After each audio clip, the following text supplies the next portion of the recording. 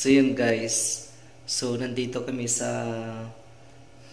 dito kami sa Lago de Oro, Calatagan, Batangas. So nandito syempre din dito kami sa hotel.